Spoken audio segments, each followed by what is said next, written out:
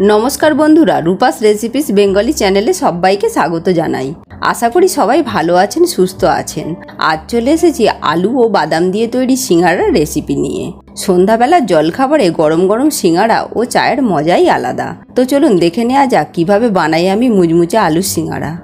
সিঙ্গারা তৈরির জন্য ময়দাটিকে মেখে নেব। তার জন্য দুই কাপ পরিমাণ ময়দা নিয়ে নিলাম। সামান্য পরিমাণে কালা জিরা ও হাফ চামচ লবণ দিলাম। এর সাথে অ্যাড করে নিচ্ছি বেশ কিছুটা রিফাইন অয়েল এখানে তেলের পরিমাণটা একটু বেশিই দিতে হবে, তবেই সিঙ্গারাটা খাস্তা হবে। এগুলিকে একসাথে মাখিয়ে নেব। দেখতেই পাচ্ছেন খুব সুন্দরভাবে হাতের মুঠার মধ্যে চলে আসছে। এবার অল্প অল্প করে উষ্ণ গরম জল দিয়ে মেখে ডোটা তৈরি করে নেব।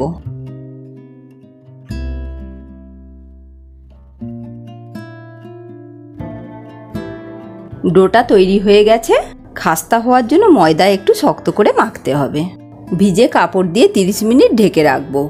অপর দিকে পুরটা তৈরি করে নেব। পুর তৈরির জন্য আমি চারটি আলু নিয়েছি, একে ছোট ছোট আকারে পিস করে নেব। পুরের আলু খোসা সমেতই হয়, তার জন্য খোসা সমেত আমি পিস করে নিয়েছি।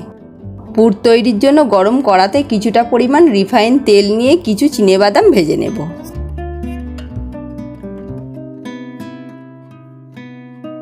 ভাজা বাদামটি উঠিয়ে নিয়ে ওই তেলের মধ্যেই আমি সিঙ্গারার পুরটা তৈরি করে নেব।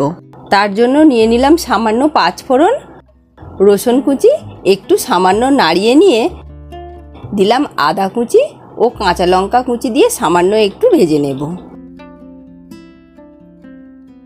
কেটে রাখা আলুর টুকরোগুলি নিয়ে নিলাম। নিয়ে নিলাম অল্প পরিমাণে হলুদ গুঁড়া স্বাদ মতো লবণ ও হাফ চামচ জিরা গুঁড়া দিয়ে একটু কষিয়ে এক কাপ পরিমাণ জল সিদ্ধ হওয়ার জন্য অ্যাড করে দেব। এটিকে মিডিয়াম হিটে সিদ্ধ হতে দেব। সিদ্ধ হয়ে গেছে, ঢাকনাটি খুলে চিনে বাদাম ও কিছু ধনে পাতা কুচি মিশিয়ে দিলাম। পুরটা তৈরি হয়ে গেছে, এটি ঠান্ডা হওয়ার জন্য রেখে দেব।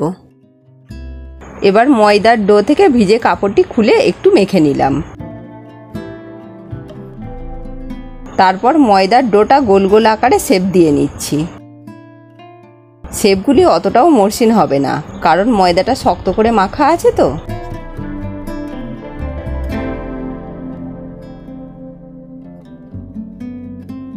সিঙ্গাড়াগুলি একে একে বেলে নেব, তার জন্য প্রতিটা লেচি ও বেলনে তেল মাখিয়ে নিলাম। একটি লেচি থেকে দুইটি সিঙ্গারা হবে। লেচিটি লম্বা আকৃতির করে বেলে মাঝখান দিয়ে ছুরি দিয়ে কেটে নেব।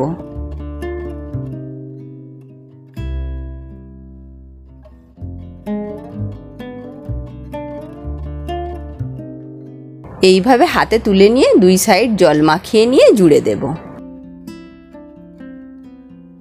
এইভাবে চেপে চেপে জুড়ে দিতে হবে।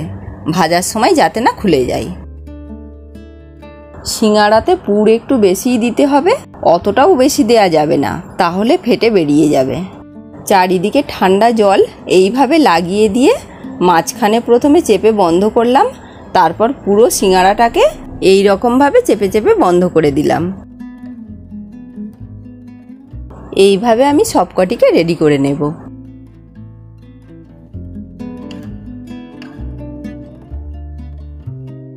সিঙ্গাড়াগুলি ডুবো তেলে ভাজতে হবে।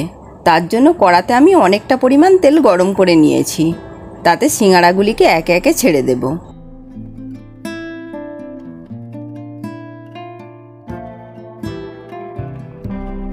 এইভাবে সিঙ্গাড়াগুলিকে তেলের মধ্যে উল্টে পাল্টে ব্রাউন করে ভেজে নিতে হবে। প্রায় পনেরো মিনিট ধরে মিডিয়াম ফ্লেমে ভাজতে হবে।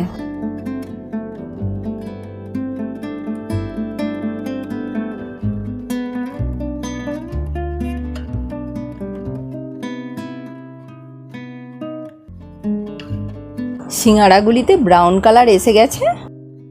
একটি পাত্রে উঠিয়ে নিলাম।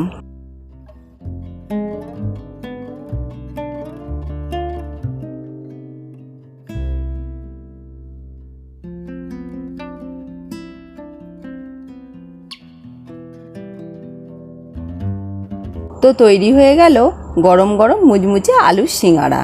এখন গরম সিঙ্গাড়া গরম চায়ের সাথে আমি পরিবেশন করব। এই টিপসটি ফলো করে আপনারা বাড়িতে অবশ্যই ট্রাই করবেন। এই আলু ও বাদামের সিঙ্গারার রেসিপিটি আপনাদের ভালো লাগলে ভিডিওটিকে অবশ্যই একটি লাইক করবেন ও কমেন্টে জানাবেন ভিডিওটি কেমন লাগল। আর আমার চ্যানেলে যারা নতুন বন্ধু এসেছেন, তাদের কাছে চ্যানেলটিকে সাবস্ক্রাইব করার জন্য আমার অনুরোধ রইল। ধন্যবাদ।